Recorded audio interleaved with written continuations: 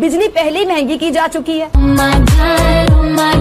क्या? और भी महँगी हो जाएगी. हमारा कश्मीर आज़ाद नहीं होगा नहीं होने दिया जाएगा।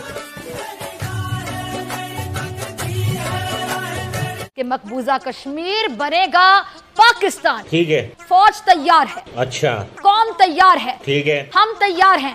लेट्स गो जो इंडिया के जो है ऑक्यूपाइड कश्मीर है उससे कंपैरेटिवली अगर बात की जाए तो अनडेवलप्ड है इंफ्रास्ट्रक्चर नहीं है लोगों को वो सहूलतें नहीं दी जा रही जिनके वो जो डिजर्व करते हैं जितने टैक्सेस पे करते हैं।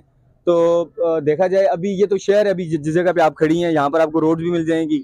इंफ्रास्ट्रक्चर भी कदरे हाल बेहतर है बाकी इलाकों की नस्बत। लेकिन यही रोड जब आप थोड़ा सा आगे चले जाएँगे नीलम वैली के रूट पे चले जाएँगे आपको बिल्कुल नज़र आएगा ना वहाँ पे इंफ्रास्ट्रक्चर है। ना वहाँ लोगों को हॉस्पिटल की सहूलत है।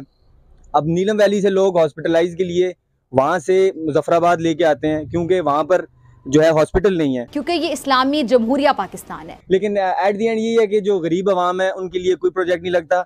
वही प्रोजेक्ट लगता है जिसमें जो बड़ी माफिया है जिनको लगता है कि उनमें उसको उनको फ़ायदा मिलेगा एक कश्मीरी होने होने के नाते हमारे लिए जिस तरह यहाँ बिजली पैदा हो रही है हमारे लिए फ्री बिजली होनी चाहिए थी।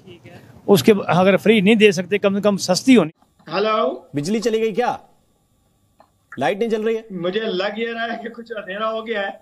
तो खैर वो अभी आ पावर कट हो गया इसका मतलब? तो ये यही यही तो यही जी, तो जी। दो सवाल हैं कि एक तरफ़ आर्थिक रूप से बड़ी दिक्कत है दूसरी तरफ़ सियासी तौर पर पॉलिटिकल तौर पर भी बड़ी दिक्कत है। बत्ती जलवाइए तब तक मैं वापस आपके पास लौट के आता हूँ। रविंद्र सचदेव कैसे देख रहे हैं अभी पाकिस्तान के हालात को आप? पिछले महीने बिल एक आया था मैंने देखा तो ओवरऑल ये बताऊँ कि हमारा सिलेंडर देखिए इस वक्त चौंतीस सौ रुपये पैंतीस सौ रुपये का सिलेंडर है।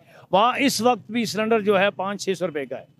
मैक्सिमम पाँच छः सौ रुपये। का अब देखें हमारा डालडा फ़ी किलो छः सौ रुपये का वहाँ अब भी जो है मैं साठ सत्तर रुपये का होगा।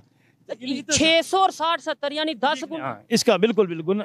हमारा वहाँ हम हम आटा देखें इस वक्त साढ़े छः हज़ार रुपये का मन आटा खरीद रहे हैं।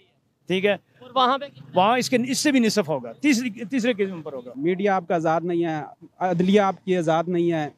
आप किसी भी सेक्टर में चले जाएँ करप्शन हर जगह पे भरी हुई है। तो खैर पूरी दुनिया के ममालिक में होती है कंट्रीज़ में होती इंडिया है। में इंडिया में उन्होंने कंट्रोल किया। जिसने करप्शन पे कंट्रोल करना था वो उसने ये नहीं कहा कि मैं हुकूमत में आके कंट्रोल करूँगा।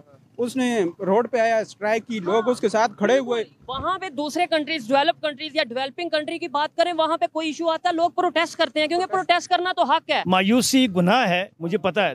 ला तक न तुम रहमत लेकिन हालात बता रहे हैं कि हम मायूसी। मैं अगर ये बात कहूँगा बांगे दोल कहूँगा और सौ फ़ीसद मेरी ये बात दुरुस्त है हमारा कश्मीर आज़ाद नहीं होगा नहीं होने दिया जाएगा।